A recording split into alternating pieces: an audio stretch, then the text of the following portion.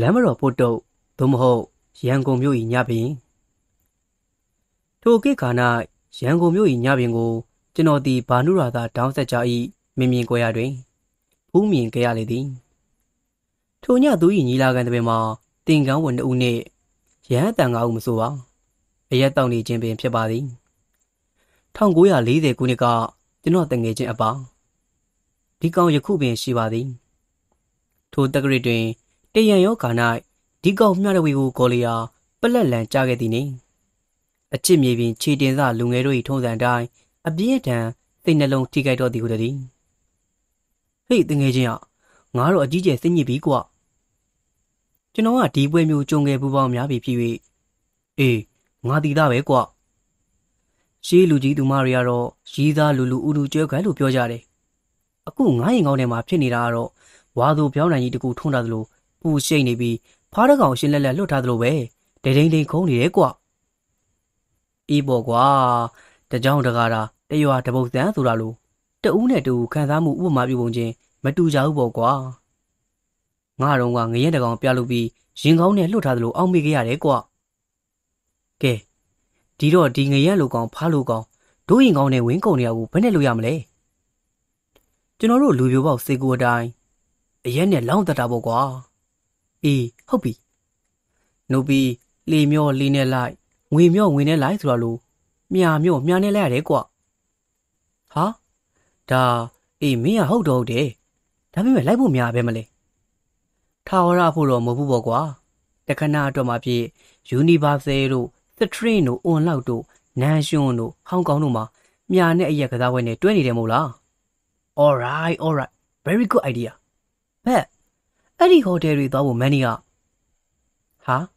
ဒါတော့မင်းကိစ္စမင်းကြံမပေါ့ကွာငါထီသေးမလေးတော့ကငါရွှေကျဲသည်ပေါရတယ်မို့လားလို့အီနီယာ၌ထိုကိကထီသေးမဆိုသည့်အကြောင်းကိတ္တဖြတ်ပြောခြင်းပါသည်ထိုကိကထီဆိုင်တို့သည်ယခုကိလိုအောင်စုပန်ကန်တော်ကြီးကန်တော်ကလေးစသည့်နာမည်တွေတက်၍နေရတကအနှံပြားအသီးဖွင့်ကလူသူမရွေရောင်းချကြသည်မဟုတ် ထီတိုင်းကိုတင်ကြီးသည်လိုသကော်သည်လိုအကွက်အကွင်းကြကြမှာလှလှပပကြီးပြင်ဆင်၍မိန်းကလေးချောချောလှလှတွေမှရောင်းချကြသည်ယခုကလိုဘဲဆိုင်ဘလောက်အပေါက်များသည်ဟုသတင်းစာတွေထဲမှာထည့်ပြီးမကြညာကြမိန်းကလေးလှလှဟုသာဗန်းပြထားကြသည်အနီမိန်းကလေးတို့ကလည်းလာကလေးရ၏ရောင်းရသောတီဆော်ရပေါ်မှာကော်မရှင်လဲရသည်ထို့ကြောင့်ထိုမိန်းကလေးတို့သည်ထီလက်မှတ်များများရောင်းရအောင် မြူဆွဲတက်ကြသည်ဒီကဘာရီကဘာအပြောခံကြသည်ယခုခေတ်တွင်မိမချောကလေးတွေရုပ်ရှင်မင်းသမီးလှုပ်ချင်ကြတဲ့ကဲ့သို့ထိုခေတ်ကမိမလာလေးတွေထီစီမှလှုပ်ကြသည်ထိုခေတ်ကဂေါ်ကလာသားတို့သည်တိမ်ကြီးသည့်ထီယုံတန်းနှင့်တကော်သည့်အလဲပဝနိုင်စဉ်အောက်ကထီစည်းမှလေးလှပုံကိုတတိယကြပေအောင်မည်ထိုခေတ်ကထီစည်းမှခေါ်ရပုံကလည်းလွယ်လာသည်မဟုတ်ပါတကားစကားပြောခြင်းလင် ထီတဆောင်ထိုးငွေနှစ်ကျပ်ကုန်ရပါ၏ကျွန်တော်ဒီမိုက်မဲစွာငွေနှစ်ကျပ်စီအလီလီကုန်ခြင်းဖြင့်တိမ်ကြီးသည့်ထီယုံမှကောင်မလေးတယောက်နှင့်ရီငံမိသည်ဆိုကြပါစို့သူ့နာမည်ကဘေဘီတရုတ်ကပြားမလေးလိပ်စာက108ရွှေတောင်တန်းအဟုတ်အမှန်ကိုထုတ်ပြန်လို့ရပါ၏မက်ရွှေကျော်ယခုရှိပါသော90ကျော်အတော်ကြီးသူနဲ့ကျွန်တော်သည်စာပြီးစာယူဖြစ်ကြပြီးတင်းမကြလား သူထီဆိုင်တို့မလာတော့တဲ့ဖြစ်သူနဲ့နှစ်ယောက်တူတွေ့ထိုင်လေးရှိသောမိန်းကလေးကိုမေးကြည့်တော့ဘေဘီကရှင့်ကိုချစ်သွားရှာတယ်ဒါပေမဲ့သူကဒီထိုင်ဆိုင်ရှင်တယောက်ရဲ့ဒီထီဆိုင်ဆိုင်ရှင်တယောက်ရဲ့မရင်ငယ်ပဲဟုသိရသည်၌ကျွန်တော်အသေးကွဲတဲ့သဘောပေါ့ခင်ဗျာခုနအပကိုကျွန်တော်ပြောသလိုမြာကြော့မြာနဲ့လိုက်သူဒီတိုင်းရွှေကျဲသီးကိုပေါင်းပြီးစာတွေ့မကငါတွေ့ရသောဟိုတယ်များသို့ကျွန်တော်သွားခဲ့သည်အီနီလန်ကို ကျွန်တော်ကညွန်ပြခြင်းဖြစ်ပေရာအပါသည်ခိတ္တမြစိတ်ငြိမ်နေပြီးနောက်ရုတ်တရက်ပြောင်းလဲသွားသောမျက်နှာနဲ့အေးဟုတ်ပြီဟုတ်ပြီဒီနေရာမှာငါမိမိကိုငါထိုင်ပြီးရှ िख ိုးခြင်းနဲ့ကော့ဘာလဲမိမိမိကထိုင်ပြီးရှ िख ိုးတာနဲ့ပတ်စံပြီးရလားဒီလိုဆိုငါပါလိုက်ကုန်မယ်အိုးနိုဒီလိုမဟုတ်ဘူးငါမိမိကိုငါထိုင်ပြီးရှ िख ိုးခြင်းစီပေါ်တာက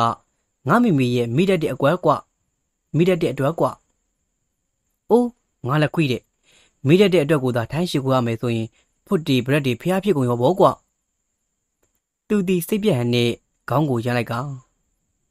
တဲဒီကောင်နားဝရံကိုငါပြောတာကငါမိမိမိတတ်တဲ့အတွက်ငါပတ်စံရဖို့ဖြစ်လာတာမို့ငါပြောတာကွာငါမိမိမိတတ်တာကဘယ်လိုလဲသိလားပတ်စံတစ်တာဖွင့်ပြီးတော့မပိတ်ပဲထားတတ်တယ်ရေချိုးကန်ဒီနှတောင်းတို့လက်စွပ်တို့ကိုချုပ်ပြီးဘယ်နေရာမှာထားမှမသိပဲဖြစ်တတ်တယ် ဒါကြောင့်သူ့ပစ္စည်းတွေတစ်ခုခုပြောင်းရင်ဘယ်သူမှမစွတ်သေးဝင်ဘူးသူ့အထားမှတာပဲတစ်ချိန်ချိန်ပြန်တွေ့မှာပဲလို့ထင်းနေတယ်ကွာဘယ်သူမှလည်းမယူတော့ဒီလိုပဲပြန်ပြန်တွေ့နေကြကိုကွာသို့တော့အပအမေဒေါ်ဖွားရှိစိန်လက်သွတ်တဝင်းသည်မကြာမီအတွင်း၌ထာဝစဉ်ပျောက်ဆုံးသောဖြစ်သို့ရောက်ရှိသွားလေသည်ထိုလက်စွပ်ကို35ချက်နဲ့ပေါင်၍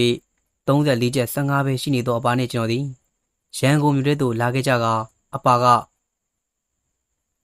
ဒီငွေမကုန်မချင်းဟိုတယ်စီအောင်တက်မယ်ကွာအခုဘယ်ဟိုတယ်စသွားမလဲထိုကိကငွေစိတ်30သည်မနှဲပါချင်းထိုစဉ်၌ကျွန်တော်တို့သည်ဟိုတယ်သည့်တစ်ကြက်တစ်ပဲတန်းတီတသိပ်ဘီယာတစ်လုံးစီများတောက်လိုက်လျင်ပင်မူးရစ်သောစီစဉ်ခံရသောသမယာဖြစ်ပါ၏ကျွန်တော်က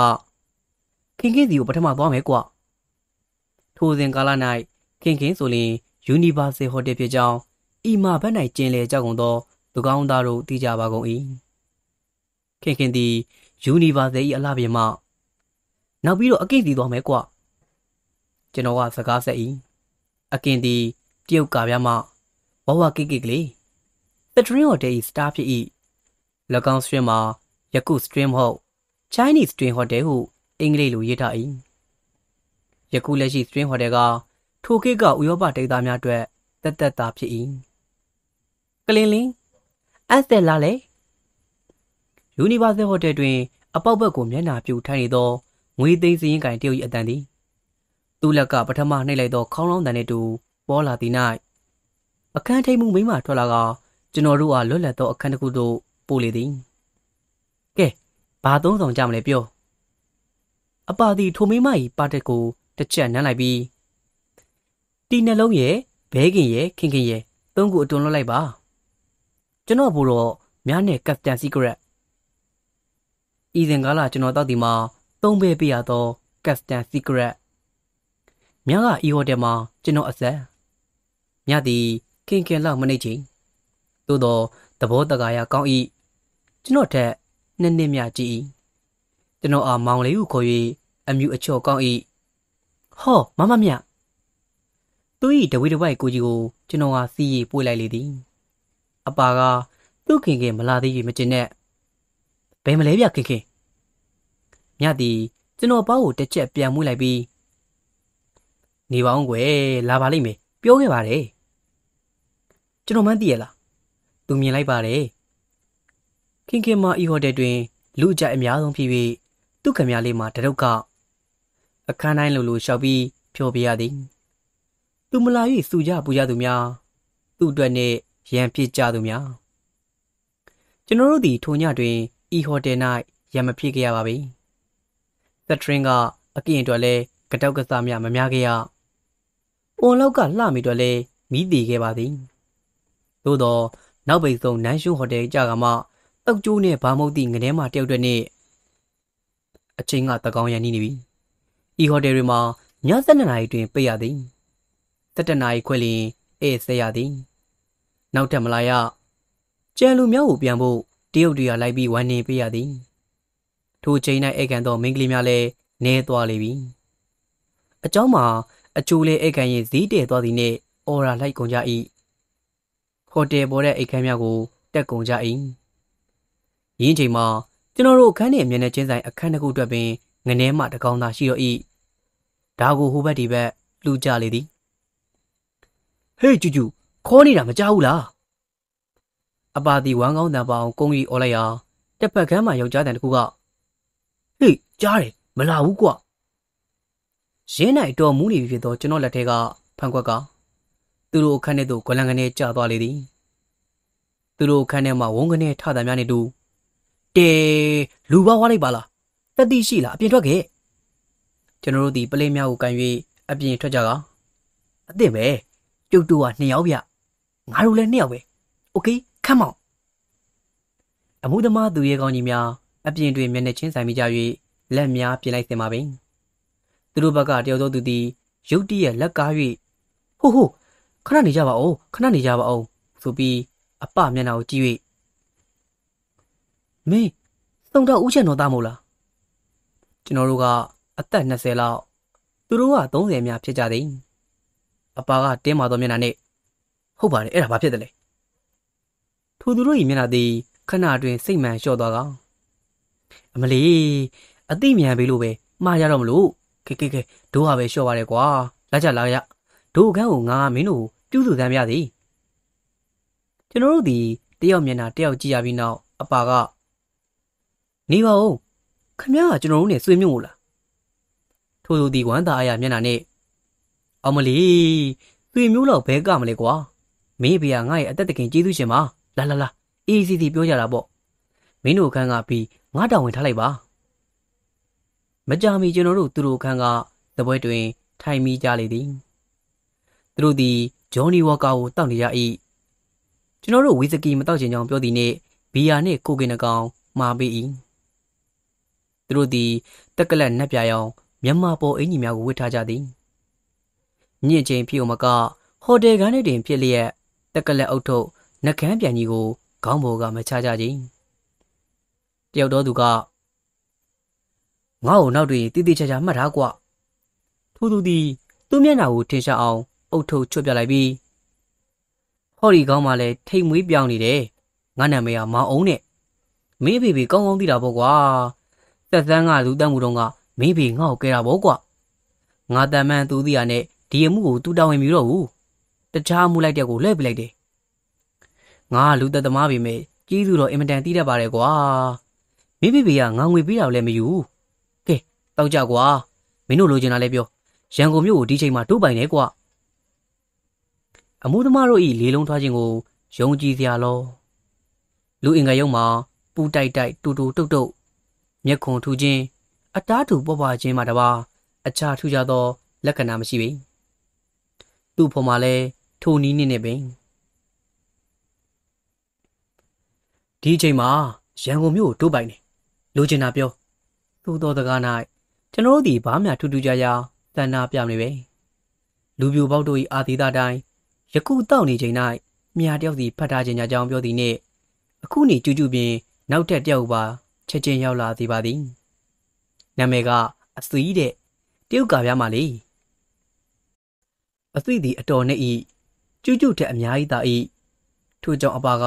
သုံးဆောင်ပါ၏အခုညမှာတော့သူ့ပွဲပေကိုခမအသီးသည်ရုပ်ချိုး၏ပြုတ်သွေးပါခြင်းကြောင့်မာနာကြီး၍စိတ်တူသည်ဒါအတွက်ပင် ကျွန်တော်တို့သူ့ကိုကျေးဇူးတရားပေမည်အဘဲကြောင့်ဆိုရင်သူ့အတွက်ပင်ကျွန်တော်တို့သည်ထိုည၌ရန်ကုန်မြို့၏ညပင်ကိုဖူးမြော်ဝင်ရခဲ့ပေသည်အကြောင်းတော်ကဒသတတသအမှုပူ၍ပူ၍လာခဲ့သောအပါသည် ဘယ်ထီအောင်များလက်ကမြင်လိုက်သည်မသိအသိသည်ရုတ်တရက်ထောက်ကကြံတန်သောသကလုံးများနှင့်သေရည်လိုက်လေ၏ဤတွင်ဒီအချိန်ရန်ကုန်မြို့တိုးပိုင်သည်ဆိုသော လူမိုက်ကိုအောင်ဆိုသူသည်သူ့အသက်သခင်ကျေးဇူးရှင်သာသူ့ရဲ့တဲ့အတွက်ကြွကြွသူ့အောင်ဒေါသထွက်ကအသိပါကိုဖြန့်ကနေလှမ်းချလိုက်လေသည်ဤများနဲ့အားမြသည်နေငါရှိမှငါရဲ့ကိုဒီလိုစိတ်ရသလားဆိုပြီးသူ့အပေါ်အင်ကြီးထဲမှာ အသွားတပေမြရှိသောဓမြောင်ကြီးထုတ်ကအဆွေးလက်မောင်းကိုအဆွေးလက်မောင်းကိုဖမ်းလေလိုက်သည့်၌တငယ်မသည်ဆက်ဆက်တုံလျက်အမလီကိုရဲ့ကျမအမတ်တမဲ့သတိလစ်သွားလို့ပါချမ်းသာပြီးပါတော်မူပါချမ်းသာပြီးတော်မူပါအကိုရဲ့ရှစ်ကြီးကိုရဲ့ဤမကုန်းသည်အသွေးလက်လက်ကိုလွတ်လိုက်ပြီးဟင်ငါဘာလုပ်လဲဆိုတာနေ့ကိုပြသွားအောင်ပဲဟုဆိုကဓမြောင်အနောက်နဲ့သပွဲဖြောင်းကနေခုတ်လိုက်သည်သပွဲပေါ်ကခင်းထားသောမန် အစိတ်စိတ်ကွဲသွားလေသည်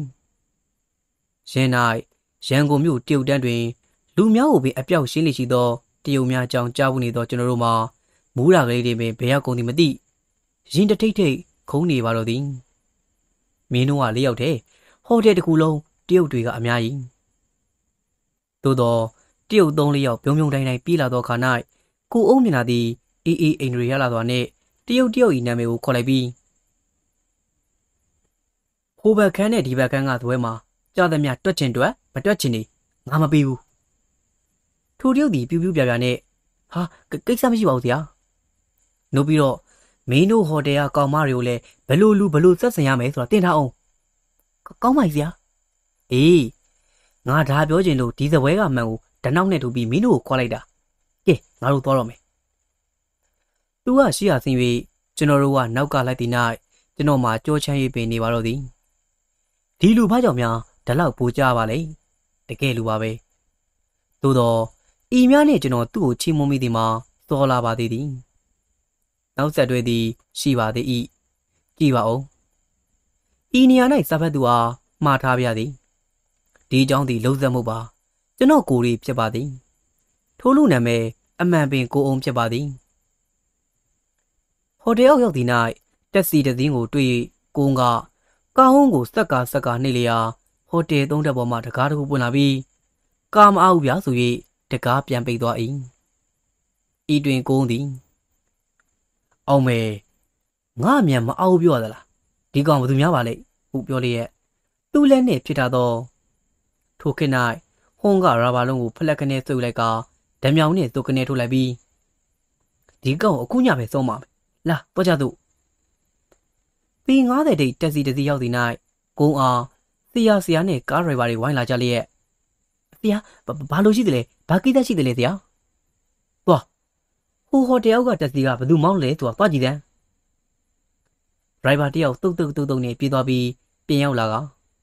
ဘာတင်ရဲ့ဆရာအေးဒီကောက်ကိုအခုည2နာရီငါစီလာမယ်ပြောလိုက်ကောင်းပါပြီဆရာအေးနောက်ပြီးကုန်းဒီ ကျွန်တော်နဲ့အပါကိုလှည့်ကြည့်ကမင်းတို့ကုညာအိမ်မပြန်ကြပါနဲ့တော့ကွာငါတို့ဒီမှာပဲအိပ်ပါပြောပြီးလူတယောက်ကိုလက်ညှိုးတို့၍ဟေ့ထိုးညွတ်ထိုးသူသည်အလွန်တက်လက်ဖြက်လက်သွားနှင့်ရှေ့သို့တို့၍ခြေစုံရက်ကတရားဒီနန်းရှုံးကကျူကျူနဲ့အစီကိုနိုင်ရွက်တွင်ငါတို့ခန့်ပို့ထားလိုက်သိလားကောင်းပါပြီဗျာထို့နောက်လူတယောက်ဘက်သို့လှည့်ပြန်ကဟေ့ပတ်တော့တရားမီးလေးနေသည့် ညင်လုံးပေါက်ဆိုင်တစ်ခုကိုညွှန်ပြ၍ဟိုကျုပ်ဆိုင်သွားတဲ့ကျုပ်အလုံး40ဟောက်ဝိုင်းလုပ်ပြီးငါတီပိုကိုင်းနှုတ်ပြီးစားငံဒီတထုပ်လေးယူခဲ့လို့ပြောလိုက်ကောင်းပါပြီဆရာကဲဒုံသွားမယ်ကာရတီတခဏတွင်၌ကာရတီကျွန်တော်တို့အနီးရောက်လာကတကားဖွင့်ပြီးဖြစ်နေသည်ကားသည်ပေ90တိမ်မှဒလက်ဟိုစီလမ်းအတိုင်းမောင်းခဲ့၍လမ်းမတော်ကိုချိုသည်ထို့နောက်ကျုံကြီးလမ်းအနောက်ဘက်သို့မောင်းခဲ့က YMB အသင်းတိုင်နေရောက်သည့်၌ကိုအုံးမှရုတ်တရက်ရေးသည်ကြီးတုတ်ကြရေးကြီးတုတ်ပြအတန်ဖြစ်လာလျက်ဟေးရတော့ကွာဒီမှာပဲထိုးစင်းမယ်ရန်ကုန်မှာဒီလောက်ပိုကြနေတော့ကိုအုံးဤနောက်မှကျွန်တော်တို့ကရင်မောက်၍ရှောက်ခဲ့ကြပါသည်သို့တော့ကျွန်တော်တို့အံ့ဩရသည်ကယခုချိန်၌ကိုမှတက်မှုပြောင်း၍နေကြပြီမိထိန်ထိန်လေးနေသောတရုတ်လက်ဖေးတန်းရှိတွင်တင်ကန်းဝင်အုပ်နှင့်လူကြီးတယောက် အရက်တောင့်နေသောသဝဲနီသို့ရောက်သည်၌ပေ90ထိတ်ကလူအတိုက်ရှိပင်ဖြစ်ခဲ့သောကုန်းသည်ယခုယုံလင်းကြုံကြုံဖြစ်လျက်ကျွန်တော်တို့ကပါတူတူတိတ်တိတ်နေကြရင်အမူအရာပြပြီးကုန်းကုန်းကလေးလျှောက်သွားကြရသည်မနီမွေးရှိ အခြားသဝဲတစ်ခုရောက်မှကျွန်တော်တို့လူတိုက်စိတ်ညစ်သွားထိုင်ကြရသည်ဘယ်နဲ့တော့ကိုတို့လူချင်းသေးကနေပြီးယုံကလေးဖြစ်သွားတာကိုန်းဒီအရက်တောင့်နေသောတင်ကန်းဝင်အူပင် ရိုးသေးလေးသလားသို့မဟုတ်ကရုံးတတောင်းနဲ့အသက်50ခန့်လူကြီးကိုပင်ကြောင်ယုံလေးသလားထိုလူကြီးကိုမီးအောင်တစ်ချက်နဲ့အမောင်ဘက်ကနေ၍ဘေးလိုက်ကျွန်တော်မြတ်သည်ပေါ်လင်သောနှာတန်းခိုင်ခန့်သောမီးကိုပြီးသောနှကမ်းများရှိသည် သူ့ကိုယ်မှာသူ့ကျဲဝတ်ထားသည် ကိုယ်လုံးကိုယ်တည်းထွားသည် ကျွန်တော်တို့ယခုထိုင်းနေရသည်မှာတက်9မိနစ်များကျော်ပါပြီကိုအုံးဤအမူအရာကြောင့်ဘ သူကမှဘာမှမပြော ပြင်လာပါပြီထို့ပြင်ကျွန်တော်တို့မှာကုန်းအမိတ်ထုတ်ခဲ့သောကျူကျူအသိနဲ့ကျုပ်ဟောက်ပိုင်တို့ကိုတန်တာမရွေသူ့ကိုလက်တို့ပြီးကိုဒီမှာဘာလုပ်နေရလဲတွားကြပါစို့ဗျာအိုးနေအောင်ကွာဆရာကြီးကဘာပြောမှမသိသေးဘူးဟုတ်ဆို၍ထိုလူကြီးကိုမင်းငေါ်ပြပါသည်ကျွန်တော်ကဒီလူကြီးကဘယ်သူမို့လို့လဲမင်းသူ့နာမည်မကြဘူးလား ကျွန်တော်ချက်ချင်းတည်တတိရ၍လမ်းမတော်ဖုတ်တုတ်သွားလားကိုုံးဒီသူ့နှကန်းကိုလက်ညှိုးကလိုက်ကရှူတူတူနောက်10မိနစ်လောက်ကြာမှထိုလူကြီးကကိုုံးကိုလှမ်းကြည့်၍မောင်အောင်ကိုုံဆွေကနေရက်လိုက်ကဆရာကြီးအခုညဘာများကြောင်းသူသေးလဲဟိမထူးပါဘူးဆရာကြီးအေးအေးဒါဖြင့်သွားတော့ခုအမိတ်ပေးလိုက်ပါမှကျွန်တော်တို့ဒီကျူကျူအသွေးတို့နဲ့ပြောပါရန် YMB အသင်းလိုက်တို့ယုံခဲ့ကြပါတော့၏ ဤအင်္ဂလိပ်သလုံးသည်ငားရန်ဟုအတိတ်ပဲရှိ၍ထိုရှိခဲ့သမျှတွင်ရန်ကုန်မြို့၌အိမ်ငားလူတို့သည်မိမိအိမ်ရှိတွင်ဤသို့ရေးထားလေးရှိ၏ရေးအောင်မှသုံစမ်းရန်ဌာနရင်းသူရေးထားသောအိမ်တို့မှာသုံးလီရင်အထိရှိတတ်ကုန်၏ရောင်းလိုသောအိမ်ဆိုလျှင်ရေးထားရ၏အကျဉ်လူပြိုတယောက်သည်လမ်းမှာအပြူတယောက်ကိုတွေ့၍ခြေစကားကြိုက်စကားလိုက်ပြော၏နေရလိမ့်သာကိုမေး၏ ခဏနောက်နောက်အပြူသည်သူသိထားသောငားရန်အိမ်လိမ့်သာကိုပြောခဲ့ပြောပြခဲ့တတ်၏ကိုလူပြိုကအဟုမတ်၍လိုက်လေတော့ထိုအိမ်တွင်ရောင်းရန်သို့မဟုတ်ငားရန်သို့သောသကလုံးကြီးနှင့်တူနေတတ်၏ရင်းအိမ်မျိုးမှာလူတယောက်မျှမရှိပေထိုခေတ်သမျှတွင်ရန်ကုန်မြို့မှာလူနေအမတန်ချောင်း၏လူဦးရေ3သိန်းများသာရှိသည်အိမ်တွေကပေါ်နေ၏အိမ်ရှင်တို့ဟာအိမ်ငါးကိုလိုက်ရှာနေ၏ကြားကပွဲသားများပင်ထားရ၏ အိမ်တိန်နေတို့လျင်သဘောရီသလာမီကိုအပြောက်တွေမဆိုးထားနဲ့အိမ်လာကမှအိမ်လာကမှတက်နေပြီးတလားပြေမှပေးရ၏အိမ်လာကမမှန်ပြနေသောအိမ်ငါးကိုအိမ်ရှင်ကလေးစား၏ထွိန်တွင်လူသမျှကို ပြုပြင်လောက်ကင်ပေးရ၏အိမ်ရှင်ကလုံးမပြီးတော့ကိုယ့်ဟာကိုယ်လုပ်ပြီးအိမ်လာကထဲမှနေနိုင်၏ထို့ကြောင့်ထိုကိကရန်ကုန်မြို့တွင်များစွာသောလူတို့မှာကိုယ်ပိုင်အိမ်ဆောက်ဖို့မကြိုးစားကြဘဲ သားစီမျိုးဆက်အိမ်ငါဖြင့်နေသွားကြ၏တမင်ငါဆိုင်ရန်စောက်ကြသူတွေများကကလားတုတ်တွေများကြ၏မြန်မာလူမျိုးများတွေကနေ၏1938ခုနှစ်ကျွန်တော်ရန်ကုန်မြို့သို့ရောက်သောအခါကျွန်တော်ဦးလေးအတော်တယောက်သည်ကျွန်တော်ဦးလေးတော်သူတယောက်သည်တန်ချောင်းရက်လေးလိုကွက်သည့်ဒလွန်လန့်တွင်အိမ်ငါဖြစ်နေ၏သူသည်လာက200ကျော်ရသူဖြစ်၍မကြမီ၌ထိုလန်းထဲမှာပင်ရေးထားသောအိမ်တစ်လုံးကိုဝယ်လိုက်၏ ကျွန်တော်သည်1939ခုနှစ်ဟိုင်ယာဂရိတ်ဆီယာဖြစ်ကို အောင်ပြီးသောအခါ၌ထိုခေတ်ကမြန်မာလိုတင်တန်းကုံဆုံးပြီးပြီး၍နေပြန်ပြီးကျောင်းဆရာလုပ်နေဖို့သာရှိတော့၏သို့သောကျွန်တော်သည်ရန်ကုန်မြို့ရောက်ပြီးမှအင်္ဂလိပ်စာမတတ်သည်ကိုမကျင်တတ်နိုင်ပဲအင်္ဂလိပ်ကိုအလွတ်ပညာသင်ရန်ဦးလေးအိမ်သွားနေလိုက်၏ကျွန်တော်ရောက်ပြီးမကြမီမှာထို့အကွက်မီးလောင်လျာဦးလေးအိမ်ပါသွားလေ၏အင်ကြီးတော်တော်များများပါသွား၏ သို့တော်ယခုခေတ်မှာလိုမိဘဒုက္ခတဲ့ကဲသေးအဖွဲ့တွေဘာတွေညာတွေပေါ်မလာပြီပေါ်လာကြလည်းမလို့ပြီကိုကိုကိုရင်ပြန်လဲမထူအောင်ပြီးတချို့ကသူမျိုးသားချင်းအိမ်သွားနေကြသည်ကိုကိုဝယ်ရာဖုန်ကြီးကြောင်သွားနေကြသည်ငွေကြီးပြည်သူသူများကအနီးပတ်ဝန်းကျင်တွင်အိမ်900ကိုရေးထားသောအိမ်များသို့သွားရောက်ငှားရမ်းနေလိုက်ကြသည်ကျွန်တော်ဦးလေးအိမ်အောင်တဲ့ဇလွန်လန့်အနီးမှာပဲရှိသောတရတော်လန့်နေရှိ နှစ်ထပ်အိမ်တန်းလျားကြီးမှာတကန်းငားနေလိုက်သည်မီးရီအစုံနဲ့တအိမ်အောင်လုံးကောင်းစွာနေလောက်၏အိမ်လာက25ချက်ပဲပေးရ၏ရင်းတို့မီးလောင်ပြီးသောအခါ၌တစ်တန်တို့ရောင်းသူများကမီးလောင်ခံရသူများအားလူရန်သားအခြေအနေကိုကြည့်၍အချို့ဝက်အကျွေးရောင်းကြ၏သုံးလေးလလောက်တွင်မှာပင်ဤမီးလောင်ကွက်မှာအိမ်တစ်တွေနှင့်ဖြစ်သွားလေ၏ကျွန်တော်ဦးလေးသည်ရကင်ဝဲသည့်အိမ်ဟောက်ထကောင်းသောအိမ်ကိုစောက်လိုက်၏ အရင်အိမ်ကိုကျမသိမ့်မကြိုက်တာနဲ့အစင်းသင်းပဲဟုကျွန်တော်ဒေါ်လေးကပြော၏ကျွန်တော်ဦးလေးကသူ့ထုံးစံတိုင်းဘာတကုံးမှပြန်မပြောချင်ယခုထိကျွန်တော်တက်တက်တာတွင်ကျွန်တော်ဦးလေးလောက်စကားနဲ့သူကို မတွေ့ဘူးသေးချင်းသူဒီတနေ့လုံးနေမှစကားတကုံပြောခဲ့၏အိမ်တွင်သားသမီး9ယောက်အိမ်စီ2ယောက်သူသည်နီးသူ့ယောက်ခတိကြီးနဲ့လူဘူးကျွန်တော်ရှိလျာသူမြည်သူကိုမျှစကားပြောလို့မရှိပေ သားသမီးများကိုလည်းချော့မြူခြင်းမပြုတ်တဲ့ကလေးချင်းရံဖြစ်သည့်တိုင်အောင် သူမဖြန့်ပြီ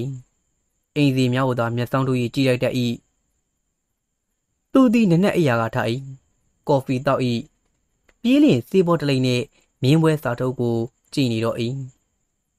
9နာရီလောက်ရှိမှဇနီးကထမင်းကူပြီးပြော၍သွားစား၏စားပြီးအဝယ်လဲယုံသွား၏ညနေရုံးစင်လာတော့သူနည်းနည်းထွေးလာ၏ ဤအချိန်၌သူကလေးတွေနှင့်အရင်ဤဆုံးဆက်တန်သည်ဟုဆိုရမည်သူသည်အိမ်ရှိအိမ်ကမှတုံလုံးကြီးလှဲ့နေ၏ကလေးတွေကသူ့ပေါ်မှခွာကြ၏သူများကထမင်းကူပြီးပြီးပြော၏သူထသွားစား၏သားပြီးအရာတဲ့ဝင်၏သူ့အိမ်တွင်ကျွန်တော်တနစ်ကြော်ကြော်လောက်နေဘူး၏မမရရသူနဲ့ကျွန်တော်ဘာသာကားမျှမေမေရရပြောခဲ့ဘူးသည်မရှိချင်းအိမ်မှာသာမဟုတ်သူ့ရုံးမှာလည်း သူ့စကားအနှဲငယ်ပြောသည်ဆိုရင်သူ့ရုံးစည်းများကဒီနေ့မိုးရွာမယ်ဟုပြောစမတ်ပြောစမတ်ပြကြရ၏လူရန်သားများထိုခေတ်၌ကျွန်တော်နေတိုင်းကျွမ်းကျင်ကြရာကြည်မြင်နိုင်စမ်းချောင်းရက်ွက်ရှိလူဒန်းသားများမှာလာကသားထက်ကိုပိုင်လုပ်ငန်းသမားတွေကများ၏ဗရိန်ကြောက်သွေးဖက်နှက်ချုပ်လုပ်ငန်းတို့တွင်ကျဲကြ၍လက်ကသာလုံသားများသည်ပင်သည်ရည်တကြီးဝင်ငွေကိုမီလျက်ဖက်နှက်ထောင်စရာကြောက်ထောင်စရာ ဗရိန်ဘူပန်ရင်တို့မှာနာမည်တစ်လုံးနဲ့လူချမ်းသာများဖြစ်နိုင်ကြကုန်၏ထို့ကြောင့်အေးရသားလူချမ်းသာများဖြစ်နိုင်ကြကုန်၏ထို့ကြောင့်အေးရသားလူငယ်များသည်ကျောင်းပညာကိုမူလာတန်းလောက်သာသင်ကြား၍လူလားမြောက်လင်သူလည်းနဲ့လွယ်ဖော်ပြပါလုပ်ငန်းများသာသင်ကြားကြကုန်သည်ထိုရသားဇာတိမလင်သင်ရဲ့ချမ်းသာမ၍အိမ်ပိုင်ရပိုင်နဲ့နေနိုင်ကြ၏အိမ်ငါနေသူတို့မှာအများအပြည့်အစိုးရလကသာ ပြန်ကြများဖြစ်ကြကုန်၏ခက်တီကမြင်းပွဲဇလွန်လန်းနိုင်နေတဲ့ကပထမကျွန်တော်ဦးလေးငှားနေတော့အိမ်နဲ့မျက်နှာချင်းဆိုင်အိမ်မကြောက်တောင်စရာကိုတစ်နဲ့ခင်မင်ရင်းနှီးခဲ့ရသည်ကိုတစ်မှတသင့်သူ့ညီကိုမြင့်ကိုတင့်အငယ်ဆုံးကိုတင်လဲကြောက်ထောင်စရာပသိမ်လမ်းမှနေသည်ညီလက်ကိုမြင့်ကမူပရင်စရာရွှေလောင်းလမ်းမှနေသည်ဤညီကို၃ယောက်နဲ့ ကိုတင်းနဲ့ကိုတင်မှာဘယ်တော့မှချောင်းချောင်းလဲလဲမရှိကြကိုမြင့်ကလူချမ်းသာအဖြစ်နေရခုတိုင်းရှိနေပါသေး၏ကြောက်ထောင်စရာနဲ့ပရင်စရာမို့လားမဟုတ်ပေထိုခေတ်တွင်နှစ်မျိုးစလုံးလုပ်ငန်းကောင်းသည်ပင်သို့သောကိုတိနှင့်ကိုတင်ကမြင်းသမားများဖြစ်ကြ၍ကိုမြင့်ကအလောင်းစားမရှိရိုးရိုးကိုကိုအလုတ်လုတ်သူသာဖြစ်၏ခက်ဒီမှာထိုခေတ်ကခင်မိသူတိုင်းမြင်းကစားသည်လိုဖြစ်နေ၏ ကိုတိနှင့်ကိုတင်သည် အပတ်စဉ်တိုင်းမြင်းပွဲကိုသွား၏သူတို့လိုကြောက်ထောင်စရာသာမဟုတ်ကြောက်သွေးသမားအလုတ်သမားများကြောက်သွေးသမားအလုတ်သားများလည်းသွားကြ၏ကိုယ်တိုင်မသွားနိုင်ဘူးလူများကိုမူတဆင်ပါလိုက်ကြ၏မြင်းပွဲရှိနေသည်များမြင်းကစားခြင်းသည်လူတိုင်းပင်လှုပ်သင်လိုအပ်သောလုပ်ငန်းကြီးဟုမှတ်ယူနေကြ၏တကောင်ချင်းဝင်းပလီမကစားနေအောင်တော့တွဲပွဲတော့ကန်ဆန်းတီတို့သည်တဘောလူတိုင်းလှုပ်ကြသည် ထိုအင်္ဂလိပ်ကတွဲပေါ်မှာသုံးကောင်မဟုတ်နှစ်ကောင်ဒါပဲတုံးဟုခေါ်သည်မြင်းပွဲမှာစနေနေ့ကျွန်တော်ဦးလေးတို့ရုံးသူသမားသည်စနေနေ့နေဝက်ရုံးစင်ကလေးကမြင်းပွဲကိုတခါတည်းဆက်သွားတော့၏ထိုခေတ်ကမြင်းပွဲသွားတယ်မြင်းသမားပဲသူဒီမှာနားစရာမဟုတ်ဂုံရှိသောအလုပ်တစ်မျိုးပင်ဦးလေးရောက်ကလေးကြီးနဲ့ဦးလေးသနီသူသမီးလည်းတွဲဝဲတော့နှစ်ယောက်ဆက်ထုံနေကြသီးကြောဘာကြောညာကြောသာမဟုတ် ခေါင်းရက်ပြတ်တိုးသေးတယ်မှာကအစားအခုကထီထိုးကြတဲ့ကဲ့သို့မြင်းတွဲပွဲတော့ထိုးလိရှိကြကုန်သည်တနည်းအားဖြင့်တော့နင်းနေပါပါတပတ်တကာတွဲပွဲလောက်ကစားကြသူတို့မှာပျော်စရာကြီးပါပြီ။သို့တော့ငွေလုံးကြီးလုံးနဲ့တီဝါဖြစ်ခြင်းတို့မူဒုက္ခရောက်တတ်ကြကုန်လေသည်။ဖော်ပြပါကိုတင့်ညီကိုကိုတင့်ညီကိုတက်မှာသူအငားလက်ခံသောကြောက်တူရောင်းပြီးမြင်းရှုပ်တဲ့ဖြင့်အကိုနှစ်ယောက်ကူညီဖြစ်ထောင်မကြတော့လဲ သူတက်တက်တာမှာလုပ်ငန်းကြီးကန်ရတော့ကြောက်ထောင်စီရတော့ပြန်မဖြစ်တော့ကြ။သူများထံမှလက်ခသာကြောက်သွေးသမားတွေပွားနေတာသက်ခမ်းသွားလေတော့သည်ဤလူကြောင့်ကျွန်တော်ယခုမမတ်ရရရေးသားမိနေသည်မှာထိုစဉ်ကသူ့အိမ်နှင့်မျက်စောင်းတို့မှာကောက်မာလိုက်ကောက်မာလီလှလှရှိသည်ကျွန်တော်ကသူ့အိမ်ဆက်တဲချ၍သွားရောက်ကုန်မိသည်တနေ့တနေ့သူကကျွန်တော်လက်ပတ်နာယူငါသည်နောက်ပြန်တောင်းတော့ ပေါင်ပြီးမြင်းလောင်ပြစ်သည် မကြမီရွေးပြီးမိဟုပြောသည်သို့တော့သာနေသည်ထိုကိကသတင်းစာများတွင်မြင်းဝဲမကောင်းကြောင်းကိုရေးလေးမရှိပေမြင်းပွဲအတွက်ပင်သူတို့စောင့်ရည်တက်လျက်ရှိသည်ကိုတပတ်မှ3ရက်တနေ့နေ့မြင်းပွဲရက်ပြေးမိမင်းတွေနဲ့နိုင်မီကိုဖပြသောတစ်တွေညွန့်သည်တင်္ဂနင်းကနေနိုင်ကောင်နှင့်ရုံငွေများအင်္ဂါနေ့နောက်ဆက်နေတွင်ပြေးမိ မြင်းများစဉ်ထိုခေတ်ကတိုင်းပြည်သည်အင်မတန်အေဂျင့်ငြိမ်သက်လျက်ရှိလျာလူတွေအဖို့အပတ်စဉ်မြင်းပွဲသတင်းသာလျှင်စိတ်ဝင်စားစရာဖြစ်နေသည်သတင်းစာတစ်စောင်နဲ့တစ်စောင်မတူအောင်ဖတ်ဖို့မှာအခန်းဆက်ဝတ္ထုရှည်များသာဖြစ်သည်မြမအလင်းမှာမြာမျိုးလွင်ဝတ္ထုများဖြင့်ထင်ရှားသည်ဝိတုတို့စားသည်ကသူရိယမဂဇင်းဖြစ်၏သဝနာ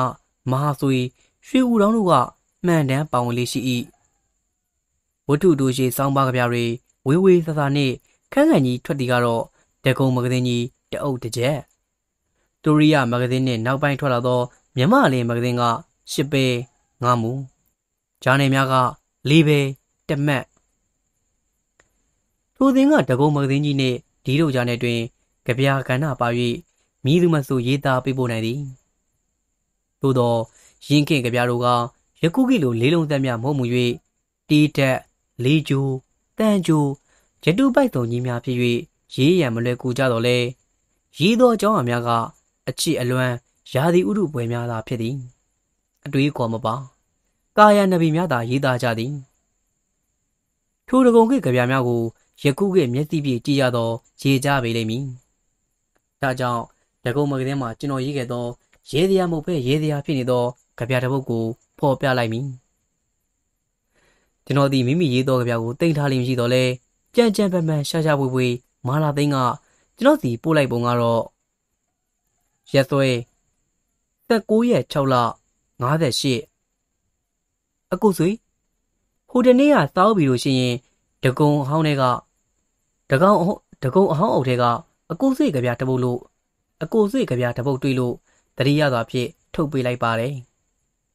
အကူတော့မသိဘူး မာလာတော့ဒီကြပြတွေ့ရတာပေါင်းတီကိုလမ်းလိုက်တာမပြောပါနဲ့တော့ဒီကြပြအကူစီရေးခဲ့တာသိမကြသေးဘူးအနည်းနဲ့သေးပဲရှိသေးတယ်အကူအကူမြန်တို့သွားတိတ်ထားနိုင်ပါသည်တတိတရညမမာလာသိန်းဤစာနေကြပြမာလာသိန်းစီကကျွန်တော်ထံရောက်လာတော့တန်းဆွေကအိမ်မှာရှိနေတယ်တန်းဆွေကကြပြကိုဖရင်ရေးပြီးတဲ့နောက်ခမရကြပြကမစိုးဘူးဗျခေကိုဖော်ပြတဲ့ကြပြပဲဗျဟုမှတ်ချက်ချပါသည် ကျွန်တော်ကတော့ခက်ရှင်းရှင်းရဲ့ပဲကိုအကြောင်းနဲ့ကိုနာမည်တွေ့လို့သာကိုကြပြရေးတီးရတော့တယ်မှတ်မိရသည်မဟုတ်ကြပြနာမည်က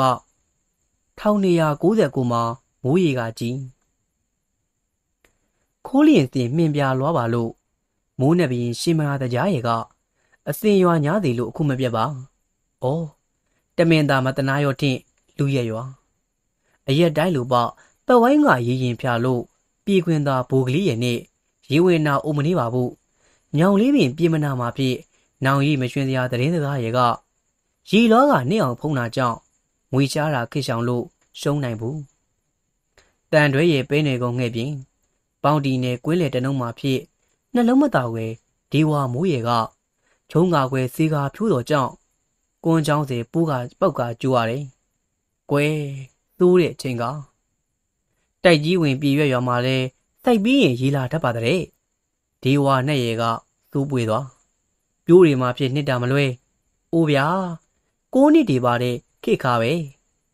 စိုက်ခရေကုံမိုက်လာတဲ့ဒီအမုံကြောင့်ပြီးရွာကုံနေတလွားမှာလာမကြည်သာပုံလေသမားတွေပြည့်ငေအားတော်တဖူဖူနဲ့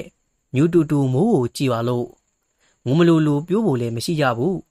နှုံချီကမရွှင်ညှိုးပါတဲ့နှစ်ကော်သော96မာလနင်မျိုးကစိုးတဲ့ဆိုးလာတယ် ကွယ်တိုးစင်လို့ကဲကဲဆရာတို့ဘယ်နဲ့တော့အဲ့ဒီကြပြကိုကျွန်တော်ဆက်ရှင်နေတဲ့သားကသတင်းစာတွင်တည်းရည်ကြီးတဲ့မျိုးတွေနဲ့တွေအကြောင်းဖတ်ပြီးရေးတာဗျအဲ့ဒီတုန်းကဒီလိုနဘေးကာယံကြပြမျိုးတွေတကုံတို့ဒီလိုဂျာနယ်တို့မှာကျွန်တော်ရေးခဲ့ပါတယ်။သို့တော့ဝိတုသကပြေးကြတော့ကျွန်တော်ဘယ်မှာရေးရမှမသိဘူးဗျို့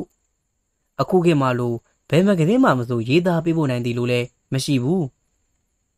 မဂ္ဂဇင်းတစ်ခုလမ်းဖတ်လိုက်ရင်ပါနေကြနာမည်ရဆရာကြီးကြီးပဲ။အဲသူရိယမဂ္ဂဇင်းမှာထူးခြားတာတခုပါပါလက်တက်တာကရေးသူသူကြသည်ရဲ့။အခြားဝတ္ထုတွေမှာလည်းရေးသူဇဝနာရေးသူပြီးမုန်နေရေးသူဇေယစသည်ဖြင့်ဆိုလို့တော့သူရသည်ကိုလည်းကလောင်နာမယ်လို့ပဲကျွန်တော်ထင်ခဲ့တယ်။သို့တော့ဘယ်ဟုတ်မလဲ။သူရိယကမူလကလောင်တွေကိုနာမည်မထည့်သေးပဲသူရသည်လို့သူယူခမညာ။ အဲ1942ခုနှစ်ဒုတိယကမ္ဘာစစ်ကြီးဖြစ်ခံနေကြတော့မှကလောင်တစ်တွေကိုဝိထုလူပြန်ပွဲခေါ်တော့တယ်ဗျာ။အရွေးခံရရင်15ချက်တည်းပထမဦးဆုံးချိန်ခေါ်လိုက်တာကဝိထု3မျိုး1ဟာတနှစ်စုံတော့သုံးသွန်စား၍ကြီးပါခြင်းပင်ကိုရေးဖြစ်ရမယ်ကိုဝါဒနာလျဝိထုတွေရေးပြီးတင်ငယ်ချင်းတွေကိုလက်ဖက်ရည်တိုက်ဖတ်ခိုင်းနေတဲ့ကျွန်တော်ကဝိထုသုံးမျိုးကိုတပိုးပြီးတပုတ် ဇက်တိုက်ပဲရေးပို့လိုက်တယ်။အဲဒီတော့ကကိုကိုကိုဘယ်ဝိထုမျိုးမဆိုရေးတတ်တဲ့ထင်းနေတာဝို့ဗျ။သို့တော့သူရိယကဟာတာဝိထုတစ်မျိုးပဲပြိုင်ပွဲလို့ဖြစ်ပါတယ်။ကျွန်တော်ဝိထုကိုညင်ညမ်းနေဆိုပြီးပေးလိုက်တယ်။နောက်တော့ပြန်ပြင်ရေးလိုက်တာတော်ရာဆွေရဲ့ရှေ့ဦးဆုံး brandy doubling ဝိထုဖြစ်လာတာပါပဲ။နောက်ဝိထုနှမျိုးကိုတော့သူရိယမဂဇင်းကစီရိတ်စင်ငွေတွေတန်းလာပြီးမို့တက်ကူအခက်အခဲကြောင့်မဂဇင်းလဲတက်ထုတ်နိုင်တော့မှာမဟုတ်ဘူးဆိုပြီး ကျွန်တော်စီပြန်ပို့လိုက်ပါတယ်။ကျွန်တော်စုံတော်ဝိထုဟာနောက်ရန်အောင်ယေဒနာလုံးချင်းဝိထုဖြစ်လာပါတယ်။သွန်စား၍ကြီးပွားခြင်းဝိထုကတော့ကိုဟာကိုလည်းမကြိုက်တော့တာနဲ့ပြန်မြည်တော့ပါဘူး။အဲ့ဒီတော့ကကလောင်တစ်ကလေးဖြစ်တဲ့အရေးကျွန်တော်ပြောချင်ပါတယ်။ကျွန်တော်ဟာပထမအဦးဆုံးဟာတာဝိထုကိုကျောင်းစာရေးသလိုပဲစာမျက်နှာနှစ်ဖက်ရေးလိုက်မိပါတယ်။နောက်မှစာမှုကိုတစ်ဖက်ပဲရေးရမယ်ဆိုတာသိတော့ဒီအတွက်တည်းများကျွန်တော်ဝတ္ထုကိုပြိုင်ပွဲမတင်တော့ပဲထားမလားဆိုရင်ပြီး တူရီယာမဂဇင်းတိုက်ကိုသွားပါတယ်။အခုခေတ်မှာလို့အက်ဒီတာကိုလွယ်လွယ်တရတယ်မထင်ပါနဲ့။တူရီယာတိုက်ကြီးမှာမဂဇင်းအက်ဒီတာဘယ်ခန့်လဲမေးပြီးသွား။အက်ဒီတာလို့ရေးထားတဲ့အခန့်တွေတော့အပေါဝါမှာမင်းစီအဆောင်နဲ့မင်းစီကိုပြောပြမင်းစီကထိုင်ဆောင်မအောင်ပြောလို့စောင့်နေရတော်တော်ကြာတော့မှလိပ်ပြတော်တကားပွင့်လာပြီးလူတယောက်ထွက်လာဒီတော့မင်းစီကအထက်ဝင်သွားသူပြန်ထွက်လာပြီးတော့မှကျွန်တော်ဝင်ခိုင်း အထက်ရောက်တော့သတင်းစာဆရာကြီးဦးသိမ့်မောင်ပေါ့ခင်ဗျာ။ตาကုန်ကြည့်နေတယ်။ကျွန်တော်ကသူ့ရှိမထိုင်ဘူးပဲမတ်တရက်စောင့်နေရတယ်။တော်တော်ကြီးကြာမှသူကမျက်မှန်ပေါ်မျက်စိကြော်ကြည့်ပြီးဘာကိစ္စလဲမေး။ကျွန်တော်ကရင်းနဲ့တထိတ်ထိတ်နဲ့အကျိုးကြောင့်ပြောပြတော့သူကဟာဒီအတွက်တော့ကိစ္စမရှိပါဘူး။ဒီတခုမှပြောတယ်။သူ့စာသူပြန်ပြီးကုန်ကြည့်နေတော့ကျွန်တော်မှနှုတ်မဆက်ဝင်ပဲပြန်ခဲ့ရပါတယ်ခင်ဗျာ။ ဒီနာဝတ္ထုတွေကြတော့ကျွန်တော်စီကန်းချက်တိုင်းပဲကြကြနနာရေးပြီးပို့ခဲ့ပါတယ်။သို့တော်လည်းဖော်ပြခဲ့တဲ့အတိုင်းတိရိတ်စစ်ငွေကြောင့်ပြန်ပွဲမလုပ်ဖြစ်ပဲ1942ခုနှစ်ဒီဇင်ဘာလ23ရက်နေ့နနက်10:00နာရီလောက်မှာရန်ကုန်မြို့ကိုနီးပိုများပုံကျဲ၍ပတ်စံရှိလင်လောကနိဗ္ဗာန်ဖြစ်တဲ့ရန်ကုန်မြို့တော်ကြီးပျက်စီးပါတော့သည်ခမညာ။အင်္ဂလိပ်ခေတ်တခန့်ရ၍ဂျပန်ခေတ်သက်အောင်စု တော်ရာဆွေ